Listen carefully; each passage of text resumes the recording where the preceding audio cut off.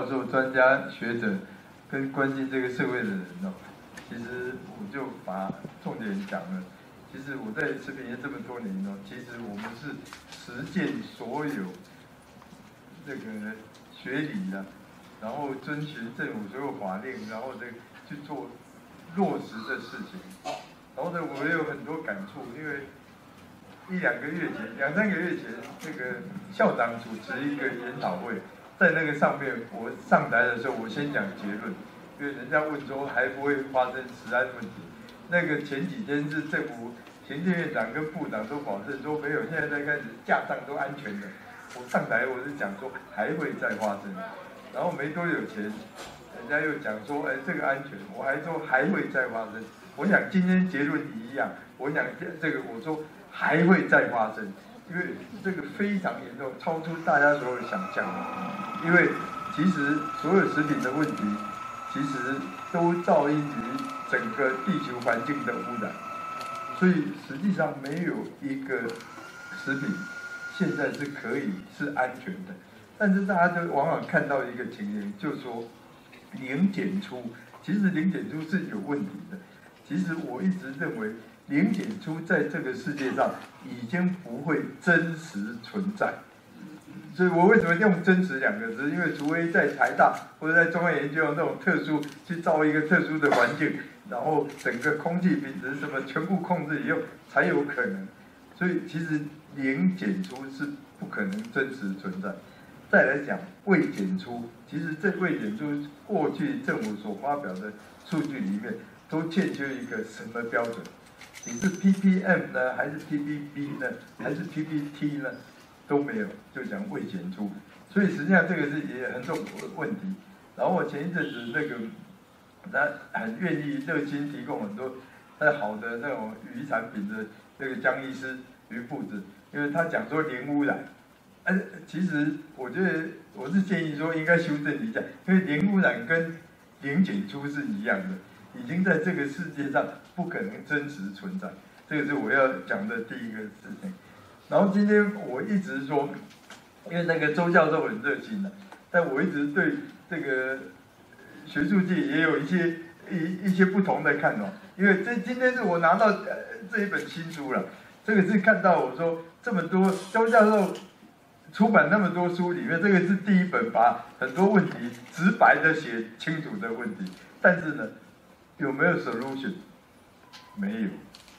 这个就是我对很多学术界很有意见的地方，就是一一大堆的研究报告，然后一系列的东西，而且我，呃呃，问题呃怎么解决？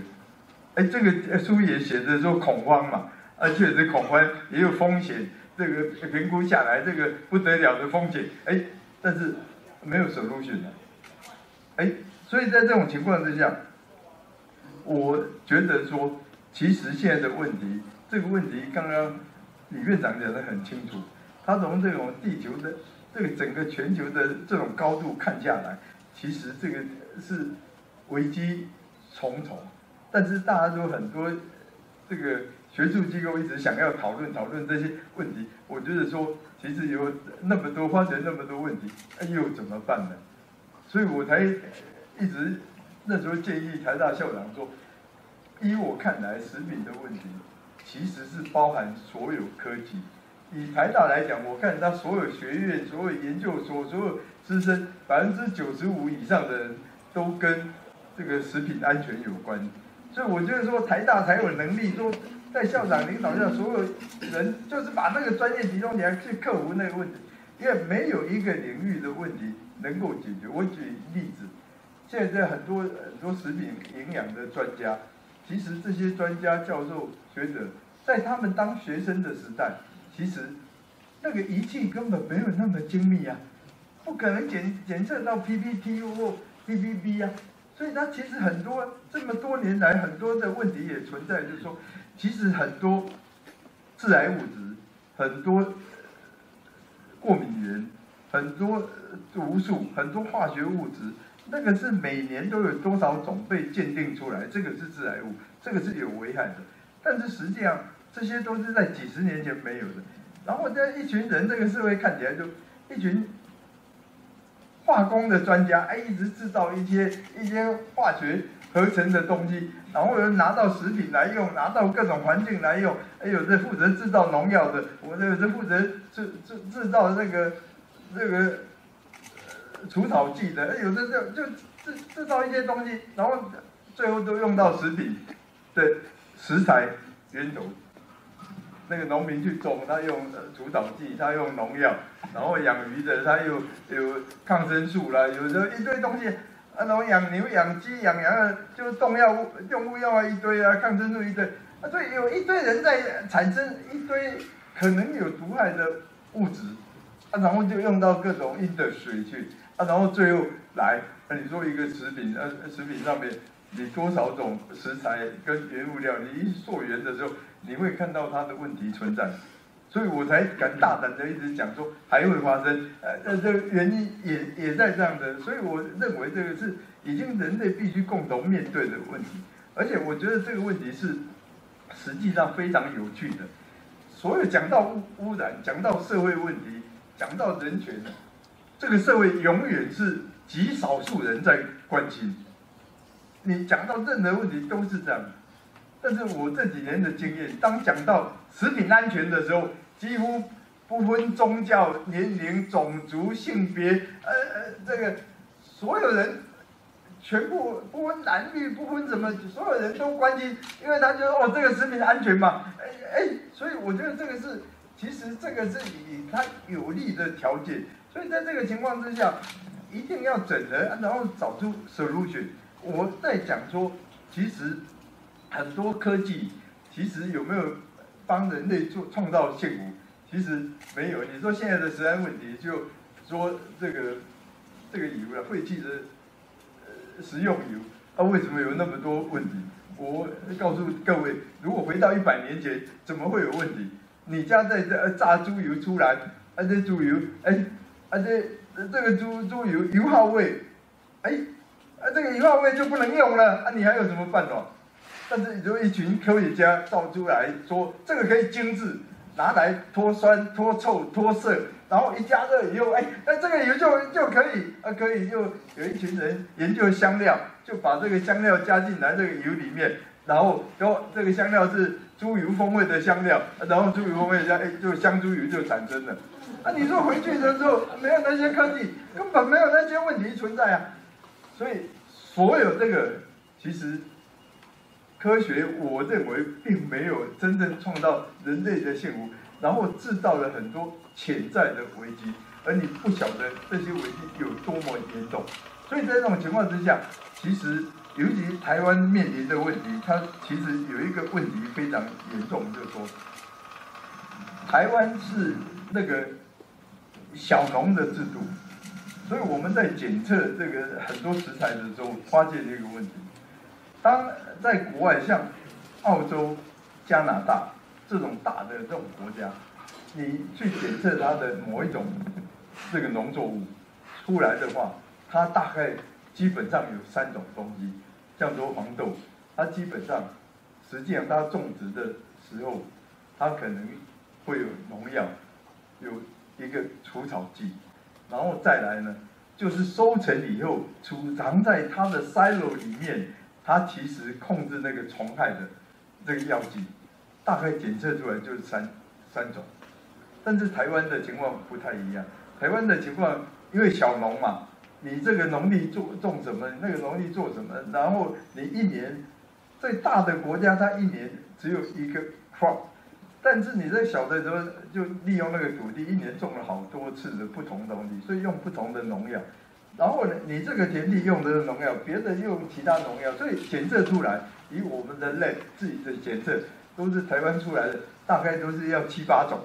呃，那个不是农民，呃呃呃，这个就是撒撒播的，但是可能是别的地方来的。哎，这个就是明显，这个是它有有它的差异。所以在这种状况之下。我认为，其实很多农民是很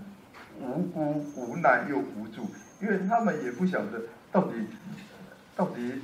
农农药在哪里，塑化剂在哪里，三聚氰胺在哪里，他没有一个东西晓得说他这个东西在哪里。但是你说一发生事情的时候，哎，就媒体跑去，像说去年中秋节，所有这些店家，不管李记、一贵阳利亚狗、红刷、有无忌，啊，其实那些饼回收的时候，厂商承受那些赔偿啊，啊，我不晓得政府在哪里，啊，那所以这东西很多认证其实是是这样是是有问题的，所以我觉得说，实际上在这种情况之下，其实。台湾很多微型摊商、小型的餐厅跟农民是非常可怜的。像最近上个礼拜跟这个礼拜有一个争执，就屏东那个种那个红豆的农民，他说我按照农委会规范的四种农药我在使用，结果出来，其实大家可以看到昨天前天的报纸就讲说，其实收成的时候。又定一个这个农药残留标准，是比澳洲还严格。然后吃做那个农委会核准的农药的这个红豆的农民，他只要稍稍微喷上去，出来就会超过那个标准。啊，这个就是非常矛盾的地方。所以现在政府这个法条非常多啊，每一个都照每一个不同的这个标准去定，还有的抄这个国家，抄那个国家的。所以我觉得现在实际上是。是必须去检讨的时候。我讲说，最近我觉得我提了很多问题，但政府的这个每一个部门回应不太一样。我讲最近的，最近这个一月一号，那个环保署，然后就讲说这个回收的退流制度。然后我那一天因为休假四天嘛，我有时间就开始写文章，我就啊重重的批判一下，说那个根本呃那个考量没有考量完整，因为他。掉了两个最重要因素，其实政府不是来管人民的，因为到选举到的时候，所有选举参参选人都讲，哦，人民才是讨给啦，啊，所以要来服务，要来什么，都讲这个。但是，一坐上这个位置的时候，就是管理，就是管。而且，我觉得说，他一个一个必须要有经济诱因，然后经济诱因有了以后，你就会是自然形成一个市场机制。那所以我们举 PET 瓶的这个例子来讲，其实 PET 瓶怎么会去管理收 PET 瓶的人？不是这样啊！你收 PET 瓶我也可以收啊，在路上看到有 PET 瓶，我就捡起来，我拿去卖啊。啊，这个什么有经济诱因啊？呃呃，我怎么说要收这个要证照？这个很奇怪的事情啊！我为什么要证照？我拿收这个 PET 瓶要证照？我批判的原则就是说。政府这个决策是忽略了经济诱因，没有让它形成市场机制。如果有经济又又有市场机制的时候，其实政府根本不必要，它自然而然就能够运作。所以今天很可怜，为什么大部分的小蜜蜂，其实我们要感谢，结果大大部分小蜜蜂都违法，因为小蜜蜂它那个以它的情况要去填表，要去申请，要去 QR code，要去做什么，而且。怎么会有能力啊？要去做做牌子什么？我觉得这个是没有没有能力的。但是我讲回来，我这样一批评以后，哎，昨天环保署魏署长，我觉得那个回应不错，他马上讲说最好的办法应该怎么样怎么样。我觉得是这个我见过部位，这个我批评过很多部位，结果这个环保署是回应比较积极，而且比较正面。他马上讲的说，哎哎，这个其实最好的办法是什么？所以其实，在这种情况下，我一直为什么讲说？这个学术机构最后出来这个结论，或者这些报告，最好能够能够落实嘛？如果不不能落实的话，我不晓得你你印了三千册五千册，可能在全世界各大学的图书馆那个书架上留存，呃，我不知道社会又又有什么正面的状况啊？所以。这这个是当然就是我得罪所有在座这个教授、学者、专家，但是我觉得这个是事实啊，在我看来，这个这个是面对的，必须大家去面对的状况啊。最后，我认为说，其实，在在这个状况之下，我们可以检验两个东西，也不要简单。我一直强调，这个检验是最没有用的东西。你如果到我们实验室去看，我们这虽然什么都能够检验，但我们的都告诉我们的人说，啊，这检验结果出来参考就好了，这个是最没有用的，因为我们我们这三十几年，超过三十年，累积一套自主管理的那种机制。就我们去看到，其实看的时候是，是我们的经验判定说要不要检查，因为我们的方法啊这个溯源吧，你哪里来的？他说有什么状况，什么季节？我讲一个例子，我们从加拿大检查到台湾跟东南亚的草莓，那结果你说草莓来，那个其实你拿来，我只要问你哪一个地方什么季节，我告诉你要不要检查，很很简单，你从加拿大。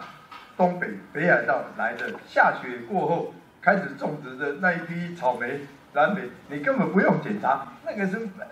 没什么农药，因为虫都死了，虫卵还在，孵化出来还要好几个月。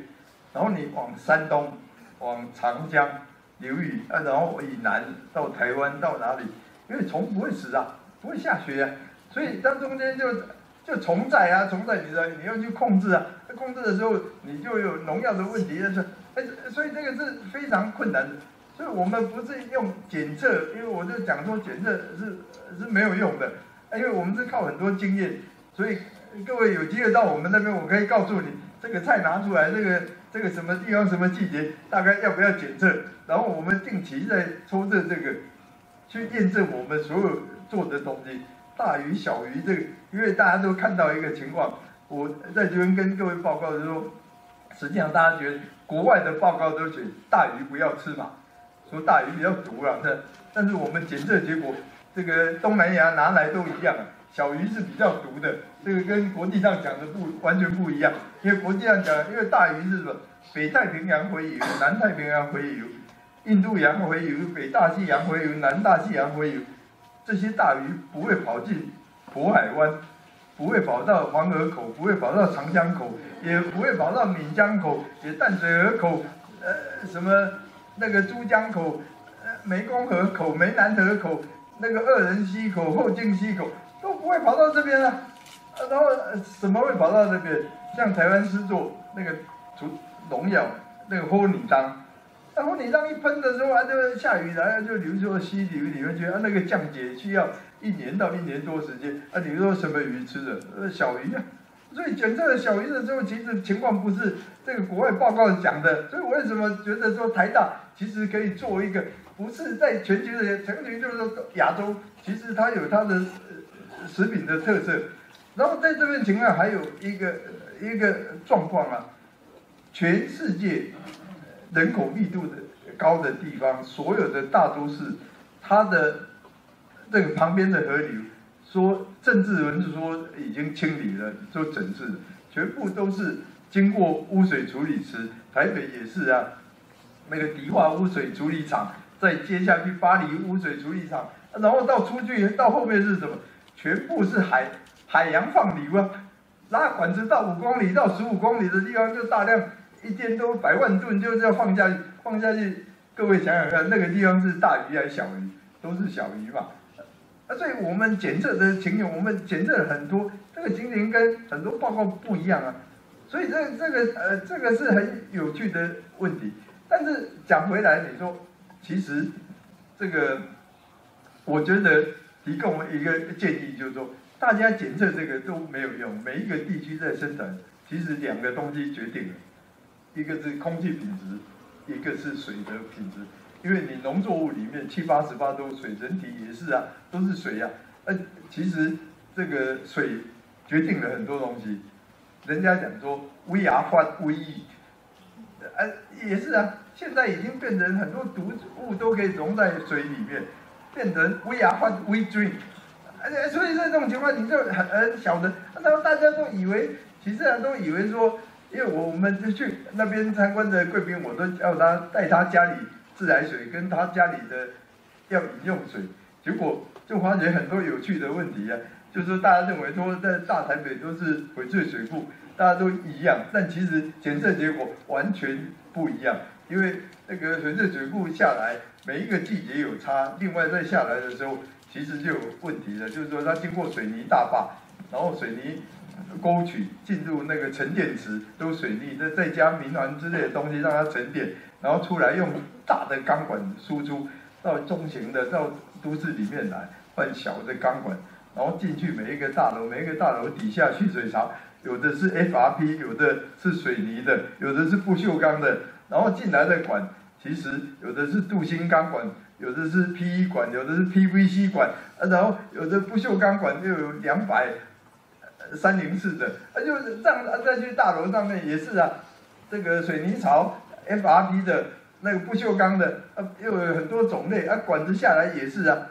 然后日据时代留下来的很多老旧房子，门口接进去那个管子，